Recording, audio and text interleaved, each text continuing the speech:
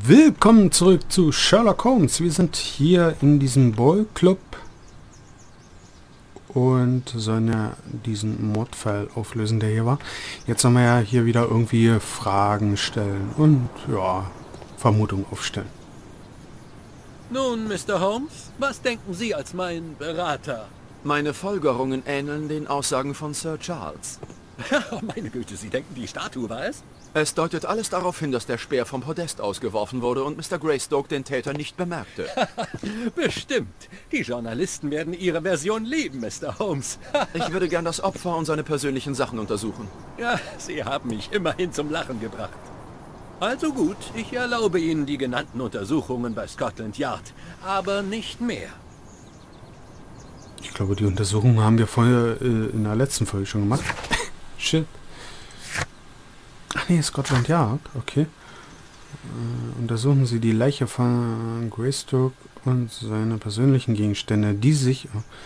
Ah, na dann mal auf ins große Polizei-Hauptquartier. Bin mal gespannt, wie es aussieht. Normalerweise bin ich ein wenig müde. Äh, Verzeihung. Ähm, siehst ja solche, äh, oder kommst halt in solche Gebäude. Danke, dass Sie so schnell gekommen sind, rein. Watson. Die Leiche des Opfers liegt bereits im Autopsieraum. Ich bin allzeit bereit zu helfen, Holmes. Lassen Sie meinen Sohn bitte Ich bin frei. allzeit bereit zu helfen, Holmes. Dürfen wir jetzt an dem rumbasteln oder was? Stets zu Diensten, Mr. Holmes. Steht zu Diensten, Mr. Holmes. Ist das Ihr Labor? Ich weiß es nicht, keine Ahnung. Ja, ich glaube, wir sind hier unten sehr richtig. Ja, hier liegt da.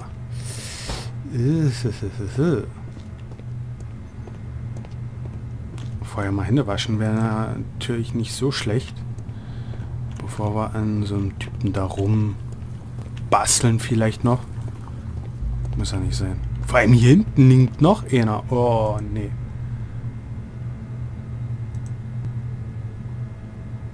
Rotes Auge. Womöglich eine schwere Infektion. Sah aus, als würde er irgendwie, weiß ich nicht, ihn aufs Auge gekriegt haben. Oh.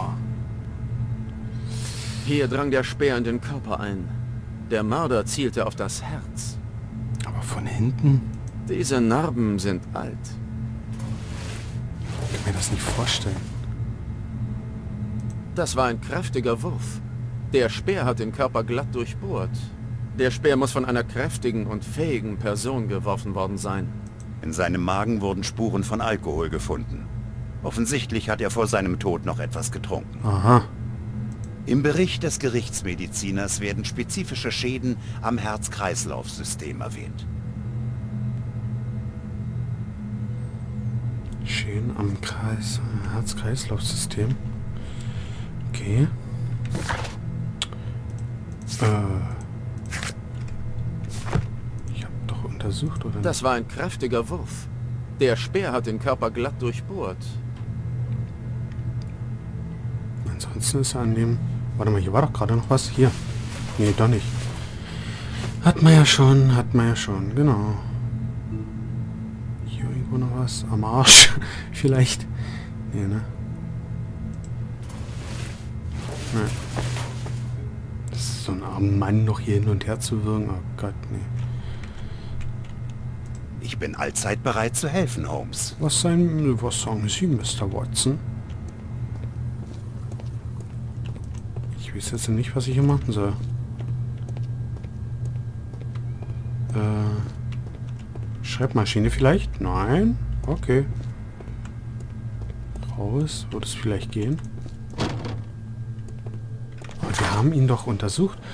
Untersuchen Sie den Mord, untersuchen Sie die Leiche von und seine persönlichen Gegenstände sicher.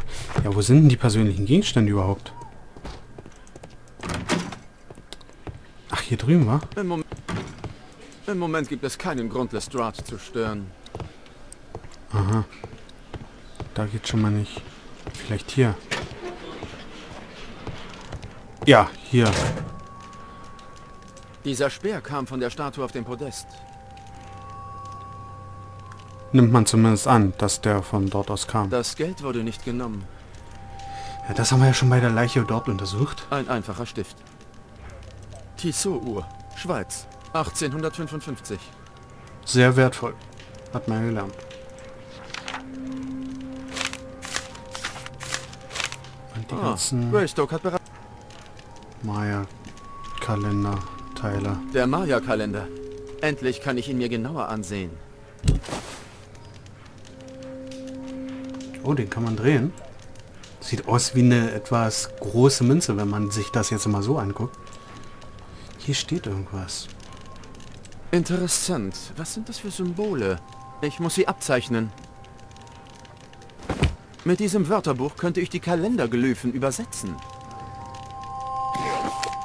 Das sind die Symbole, die sich auf dem Maya-Kalender befinden. Das sind Greystokes Notizen. Aha. Damit müssten wir die Maya-Nachricht entschlüsseln können. Na dann würde ich mal sagen, tun wir das mal. Äh, haben wir irgendwas, was jetzt hier gerade... Ja, hier ist was. Außer... Außer nur auch. Aha. Also man kann sich's aussuchen. Das heißt, wir müssen nach der Reihenfolge gehen. Wir suchen jetzt äh, etwas, das aussieht wie ein Bär und eine Sonnenblume in der Hand hält. Ich sag's jetzt einfach mal so. ah, hier unten. Verflucht krank. Ah, okay. Ähm, jetzt das, was aussieht fast... Ah, hier.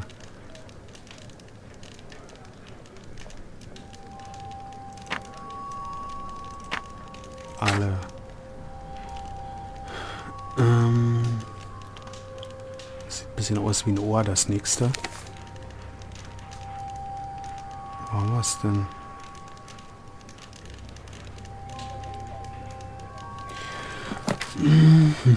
Ah, hier, heilig erleuchtet.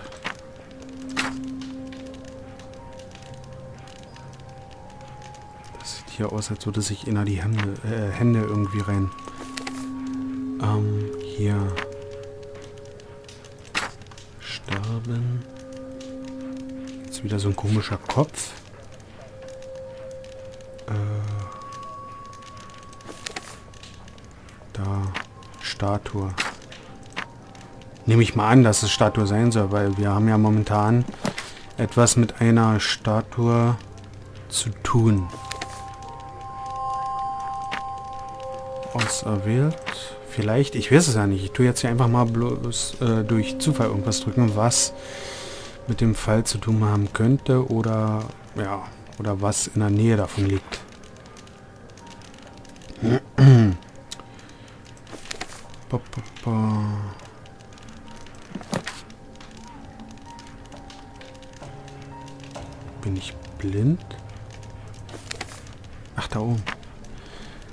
Existieren sein Erscheinen. Machen wir mal rein. Jetzt hier dieses... Boah. Irgendeine Hieroglyphe jetzt hier wirklich. Kann man sagen.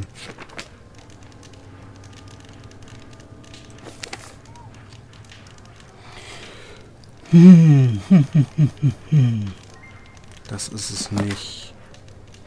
Da oben ist es. Entweihen. Wieder so ein komisches Gesicht hier mit Augenbraue. Oder Auge mit Augenbraue. Hier.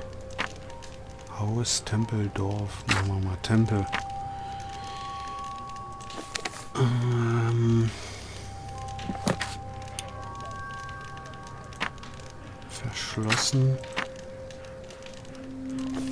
Jetzt diese komische Brille.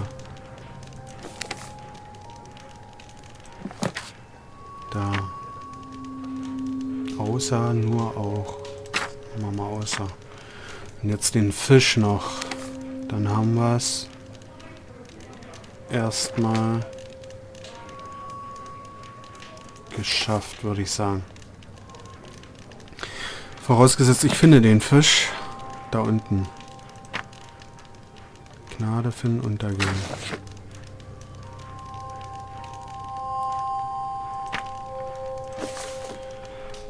Verflucht alle.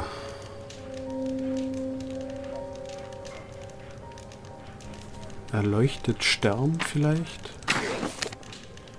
Statue auserwählt.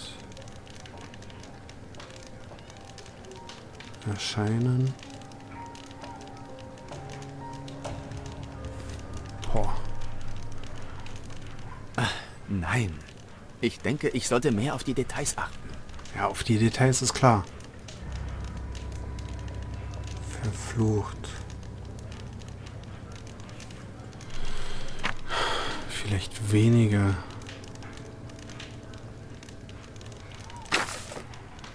Hm. Heilig. Die Statue ist heilig. Würde ich jetzt, äh, so hieß es zumindest, dass die Statue heilig ist.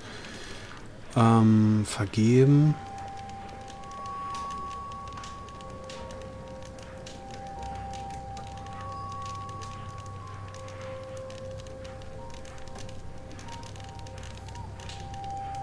Belohnen, vergeben, sterben, Statue.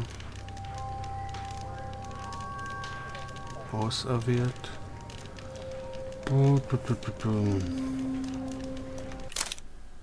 Wenn Sie diesen ab... Nee, will ich nicht. Ich möchte ja das versuchen zu entschlüsseln, auch wenn ich nicht der Hellste bin. Erscheinen, entweihen, beenden. Vielleicht.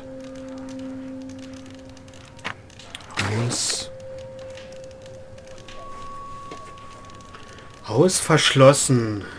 Lebendig. Ähm, das könnte Gnade finden. Nur. Nein. Ich denke, ich sollte mehr auf die Details achten. Hm. Ich würde sagen, wir überspringen dann doch mal hier den Part. Weil ich weiß gerade nicht.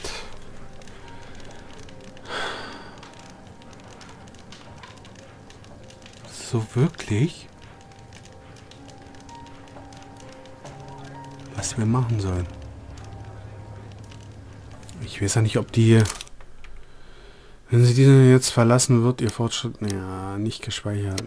Nee, also Escape kann ich auch nicht drücken. ne? Also müssen wir erstmal überspringen. Geht nicht anders. Verflucht seien alle, die entweihen den heiligen Tempel. Sterben werden sie durch die lebende Statue. Nur die Auserwählten werden Gnade finden. Das ist nicht nur ein Kalender, sondern ein Fluch. Zacharias Greystoke vom Club wurde wie vorhergesagt getötet. Vielleicht finde ich die Verbindung zwischen Greystoke und dem Fluch im Clubhaus. Also, Brauche einen Durchsuchungsbefehl. also einen kleinen Teil hatten wir richtig, wenn ich das so gesehen hatte. Aber wirklich nur einen kleinen Teil. Die Hälfte vielleicht, sag ich mal, oder ein bisschen darüber hat man auf jeden Fall richtig. Aber okay. Körperliche Stärken, Maya-Kalender, Sir Charles war allein. Fakten über die Tat. Schauen wir mal. Rennen der Statue. Sir Charles sah die Statue wegrennen. Oder das, was er gesehen hat, war ein Mensch. Das nehme ich mal eher an. Weil ich kann mir nicht vorstellen, dass so eine Statue sich dann doch durchaus bewegen kann. So, Charles war allein Fakten. Nee, körperliche auch nicht. Malkalender auch nicht. Gut. Dann nehmen wir mal Fakten und körperliche... St Nein, auch nicht. Ähm, Fakten hat man, körperliche Stärken, Maya-Kalender. Das hat man auch schon. Das auch schon. Haben wir erstmal nichts mehr zum Zusammenfügen. Gehen wir mal zu Lestrade und lassen uns einen Durchsuchungsbefehl geben. Wenn das möglich ist. Ja, sch- scheint so. Sag doch mal herein, du Hund. Nimmst du deine Pillen ein? Oder was machst du da? Ja, natürlich, mit dem Lauf guckt man auch rein, wenn die Waffe geladen ist. Du bist ein Mond. Nee. Sollten Sie nicht an einem Ihrer Fälle arbeiten, anstatt mich hier zu stören? Auch Ihnen einen guten Tag, Inspektor. Ich muss Sie um einen kleinen Gefallen bitten. Ein Durchsuchungsbefehl für das Clubhaus. Nein, nein, nein. Doch, doch, doch. Würde ich jetzt einfach mal sagen. Oh Gott, der hat auch so einen roten Augen. Haben die alle so eine äh, Krankheiten? Blutwein. Ich nehme mal an Wein. Blut kann ich mir nicht vorstellen. So, dann gehen wir mal weiter. Kragen, Krawatte. Ah ja. Kater fühlt sich unwohl. Aspirin steht hier. Kopfschmerzmittel. Kater. Ja, die Pistole. Reinigung der Waffe ist gut gelaunt. Dann muss ja was gefunden haben oder so. Handschrift. Brief von Familie Robin. Ein Taschentuch.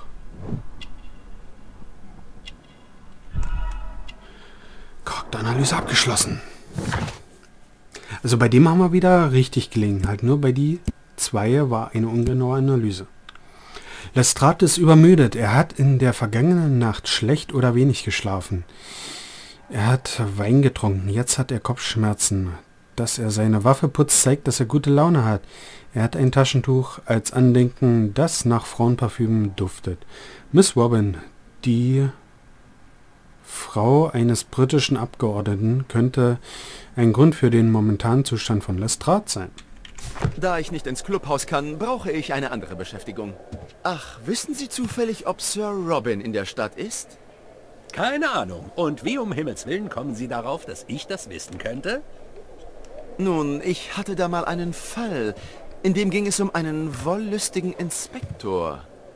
Nein, Sie irren sich. Da ist nichts Unehrenhaftes. Ach hier, nehmen Sie Ihren Durchsuchungsbefehl. Er hat Erpressung. geweigert, Ihnen den Durchsuchungsbefehl zu geben? Oh nein, ich habe ihn bekommen. Ich brauche Sie jetzt eine Weile nicht, Watson. Bis später.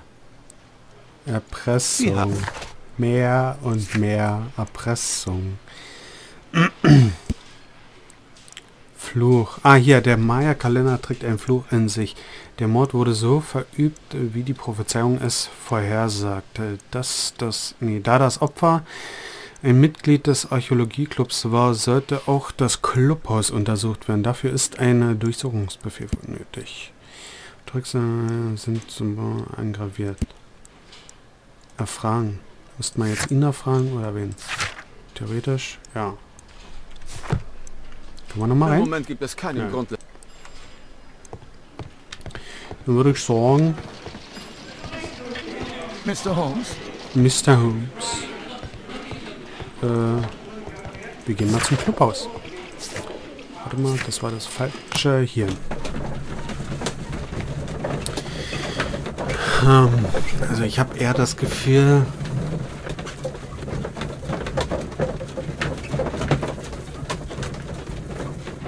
Ja, weiß ich nicht. Noch kann ich nicht sagen, weil der Fall fängt ja gerade erstmal an. Bin mal spannend hier. Was macht denn ihr hier? Armer Sir Charles. Oh. Ein Mord in seinem Club. Einfach schrecklich. Hier ist das Blut, da haben sie ihn weggeschafft. Wo ist der Maya-Kalender? Keine Ahnung. Na, geben wir ihm mal hier den Durchsuchungsbefehl. Sir Charles, ich habe einen Durchsuchungsbefehl und möchte einen Blick in das Clubhaus werfen. Gut. Hier, der Schlüssel. Aber ich protestiere. Das interessiert ja keinen. Außer die Flöhe natürlich. Greystoke soll durch den Speer So. gestorben sein.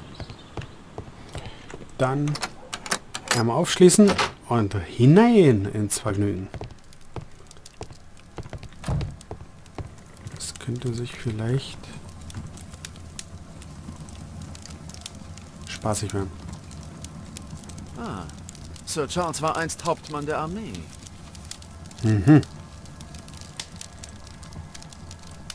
Der 50. Geburtstag von Lord Stevenson. Wer ist das denn jetzt schon wieder? Kommt hier erstmal irgendwas hinzu, was man gar nicht kennt. Charles Yellingham hat eine große Familie. Äh, Ist das Ding sein Schreibtisch hier, wo er gesessen hat? Ich nehme es mal an. März 1881, Juwelier Ness und Söhne. Sir Charles Jellingham, wir bestätigen den Erhalt Ihres Verkaufsgegenstands. Eine 458 Gramm schwerer Teil einer Massivgoldstatue aus Guatemala. Wir erklären uns damit einverstanden, diesen Gegenstand zu erwerben. Der fällige Betrag wird innerhalb von 48 Stunden nach Zustellung dieses Briefs gezahlt werden. Obwohl diese Transaktion vollkommen legal ist, versichern wir Ihnen, dass die gesamte Angelegenheit vertraulich behandeln wird. Aha. Schwerer Teil einer Massivgoldstatue. Das andere war ja bloß Metall, hatten sie gesagt. Aber okay. Sehr geehrter Sir Charles, hiermit möchte ich Sie darüber informieren, dass wir eine weitere Tranche auf das... Ich nehme es mal... Ich weiß nicht, ob es so ausgesprochen wird. Auf das Konto Ihres Clubs überwiesen haben. Allerdings wurden aufgrund früherer Verzüge die Zahlungsperiode auf einen Monat und die Kreditsumme auf 1000 Pfund reduziert. Falls Sie weitere Informationen über Ihr Konto benötigen, wenden Sie sich bitte direkt an den Direktor unserer Bank, Mr. Black, Buchhalter bei Lloyds Bank. Schlüssel, genau. Vor 14 Jahren hat Sir Charles einen Großteil der Massivgoldstatue in Guatemala verkauft und eine beträchtliche Summe dafür erhalten. Mhm.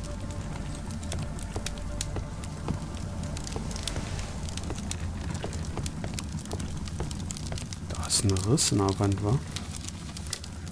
Hm. Interessiert vielleicht nicht, aber mal, wer weiß. So. Mein Gott, wer ist das denn? Hier haben wir noch ein paar Bilder. Zacharias Greystoke. Einer von denen war. Wer dieser Mann wohl ist? Das ist Sir Charles Yellingham der Direktor des Clubs. Das war dieser Zachariah. Und wer ist das? Keine Ahnung. Können wir leider nicht herausfinden. Ansonsten würde es halt hier jetzt noch weitergehen. Was haben wir hier noch? Oh, Schmuck. Die Sammlung des verstorbenen Mr. Bromsby. Bromsby.